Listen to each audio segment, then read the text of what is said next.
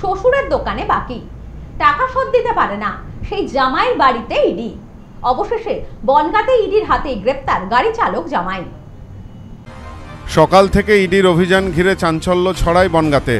বনগার বেশ কয়েকটি জায়গায় এদিন অভিযান চালায় কেন্দ্রীয় তদন্তকারী সংস্থা।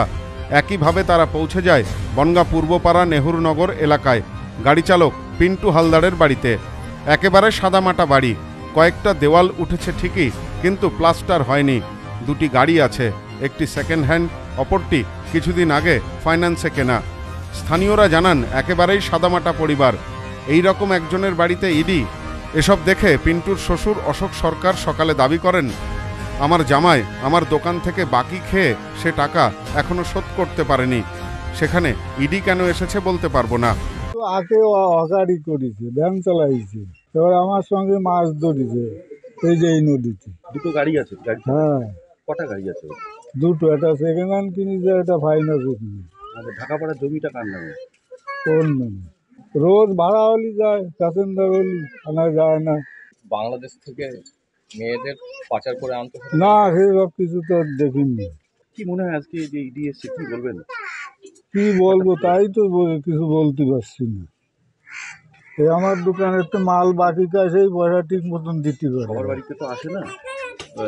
এসে কি মনে হয় যে কোনো কিছু যুক্ত থাকতে পারে? ওই কোনো লোকে হয়তো কিছু বলিছে তাই হবে তাই ধরে খালি খালি দিয়ে আসবে কি জন্য? এইসব লোকের কাছে গরিব মানুষ। এভাবেই সকাল থেকে গড়িয়ে দুপুর হয়। তদন্ত চালিয়ে যেতে থাকেন তদন্তকারী অফিসাররা। বিকালের দিকে একবার বাড়ি থেকে গাড়ি নিয়ে বেরিয়েও যান তারা। কিছু সময়ের মধ্যেই ফের ফিরে আসেন তারা পিন্টুর বাড়িতে। এরপর তাকে সাথে নিয়েই কলকাতার উদ্দেশ্যে রওনা দেন। সকাল থেকে প্রায় এগারো ঘণ্টা জিজ্ঞাসাবাদের পর গাড়ি চালক পিন্টু হালদারকে আটক করে কেন্দ্রীয় তদন্তকারী সংস্থা। সূত্রের খবর, তার কাছ থেকে বারোটি ব্যাংক অ্যাকাউন্টের হদিশ মিলেছে। প্রসঙ্গত, এদিন সকালে একই সাথে জেলার পাঁচটি জায়গায় ইডি অভিযানে নামে। মূলত বাংলাদেশি অনুপ্রবেশকারী ও আর্থিক দুর্নীতির তদন্তে আসেন তারা। এ বিষয়ে পিন্টুর এক আত্মীয় বলেন। ইডি এসেছিল সকাল আটটা আটটা নাগাদ, ঠিক আছে? আমরা তখন কেউ বাড়িতে ছিলাম না।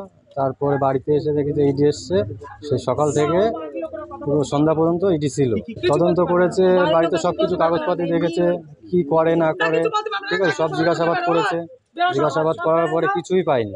ওনারা লাস্টে বেরিয়ে গেছে। বেরিয়ে যাওয়ার পরে রাস্তায় উঠে গেছে। রাস্তায় উঠে যাওয়ার পরে তারপরে আপনার আবার রিটার্ন চলে এসছে। রিটার্ন এসে আবার নিয়ে নিয়ে গেছে কি বলে নিয়ে গেছে? বলছে ওনাদের নাকি কোন স্যার আছে, স্যারের সঙ্গে কথা বলাবে।